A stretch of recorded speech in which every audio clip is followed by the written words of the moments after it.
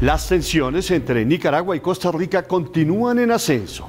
El dictador Daniel Ortega no pierde espacio para lanzar provocaciones, acusando al territorio tico de ser una base militar estadounidense y a su vez demostrar que tiene el respaldo militar ruso en territorio nicaragüense. Este es un reportaje de Karen Díaz.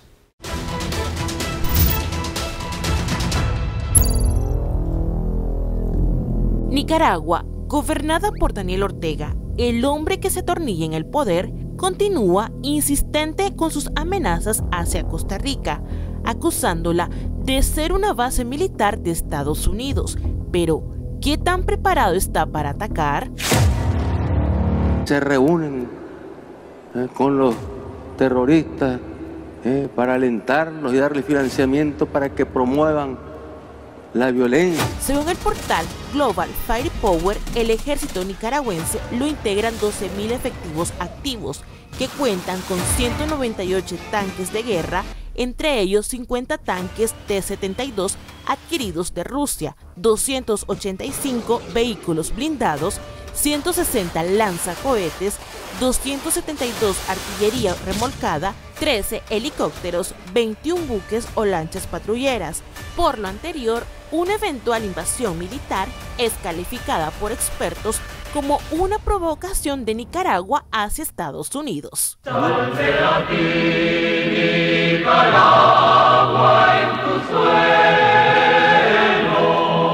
Digamos, este, recursos rusos, recursos militares más cerca de Washington, pues probablemente esto hubiera pasado desapercibido. Entonces es obvio que hay una actitud de confrontación de los rusos hacia Estados Unidos. Realmente es la unión de los países socialistas en el hemisferio que señalan a Costa Rica de ser un instrumento yanqui. Estados Unidos ha denunciado que en el territorio nicaragüense existe una fuerte presencia de Rusia. Costa Rica no es base de ningún grupo terrorista. El gobierno de la República es absolutamente eh, adherido a las normas de convivencia internacional.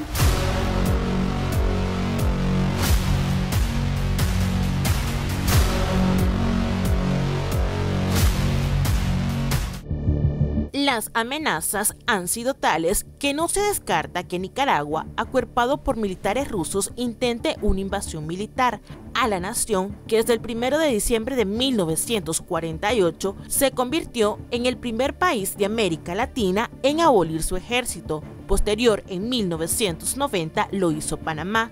Actualmente son dos de las 21 naciones en el mundo que no cuentan con fuerzas armadas. El ejército era muy pequeño y la verdad es que fue una idea que se adelantó a los tiempos. Fuimos eh, capaces de tomar esa decisión eh, por iniciativa de los vencedores en esa pequeña guerra civil. Y como era muy pequeño, no hubo ninguna resistencia de parte de los militares para que eso no pudiera suceder. Esa es la razón que según el expresidente de Costa Rica y Premio Nobel de la Paz, Oscar Arias, conllevó a que la nación del sur decidiera ponerle fin al uso de las armas para él, el que existan aún países invirtiendo dinero en el ejército es criminal. Es un negocio eh, criminal, porque para mí es criminal, porque gobernar es escoger. Y uno tiene que saber que el gasto militar es el gasto más inútil que uno se puede imaginar. Frente al Museo Nacional de Costa Rica, donde antes funcionó el cuartel Bellavista, el principal de los militares en San José, los costarricenses conmemoraron con algarabía y con orgullo el 74 aniversario de la abolición del ejército. Pero, ¿qué se siente vivir en un país sin fuerzas armadas? La verdad sí es agradable. He vivido en países que sí tienen ejército y la verdad se siente frustrante ver ejército en la calle. Es un orgullo, definitivamente. Este, estamos privilegiados nosotros por, por vivir en este país. Eh, hay otros países que no cuentan con esta bendición, ¿verdad? Representa mucho porque el gobierno puede gastar ah, dinero en educación, en salud y otros eh, programas sociales que si hubiera ejército tal vez no tendría dinero. A pesar de las opiniones positivas de la decisión que hoy llena de orgullo a los ticos, misma que fue tomada por el expresidente José Figueres Ferrer, el actual canciller costarricense André Tinoco ha expresado la preocupación de la nación por la presencia de militares rusos en Nicaragua. Además, que hemos expresado nuestra preocupación por el desbalance en el tema de seguridad al contar Nicaragua con asesores militares rusos permanentes en su territorio.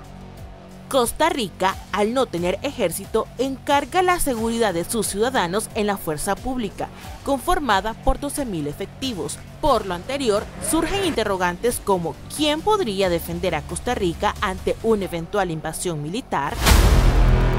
La confianza de Costa Rica en términos de la seguridad territorial y de la defensa de Costa Rica ha estado históricamente basada en el respaldo de los Estados Unidos y en el respaldo de lo que antes era todo el sistema de seguridad colectiva interamericana.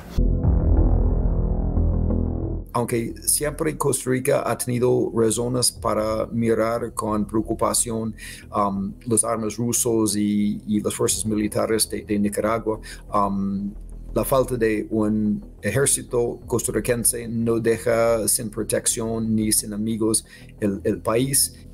Que Costa Rica no cuente con fuerzas armadas no significa que no inviertan en seguridad pública. De hecho, según el proyecto de ley del Presupuesto Nacional 2023, se espera que a esta cartera se designe 448 millones de dólares. En Costa Rica hay varios cuerpos policiales, además de la fuerza pública, que es la encargada de la seguridad ciudadana.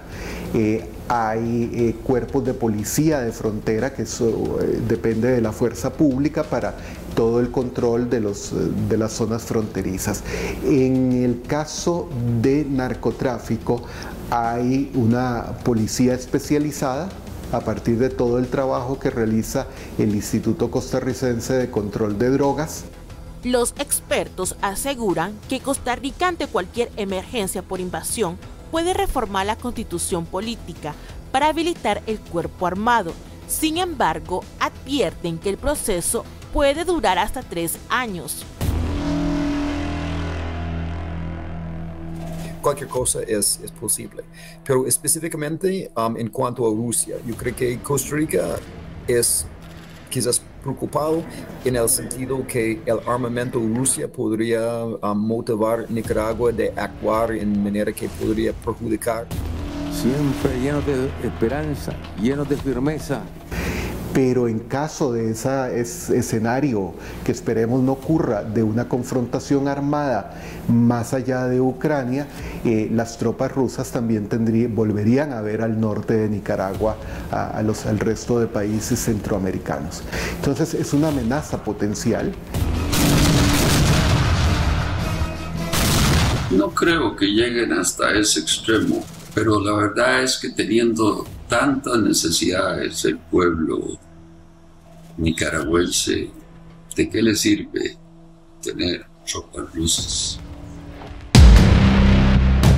Aunque las opiniones sobre la amenaza que representa Nicaragua son diversas, la única certeza es que la nación del sur no se arrepiente de haber desarticulado el ejército para invertir en la salud y educación de sus ciudadanos. Así es como hace 74 años abolimos el miedo paralizante de la guerra Hace 74 años también le dimos una lección a todas las naciones del mundo. Les enseñamos que el desarrollo de un país no tiene por qué medirse con el poderío de su armamento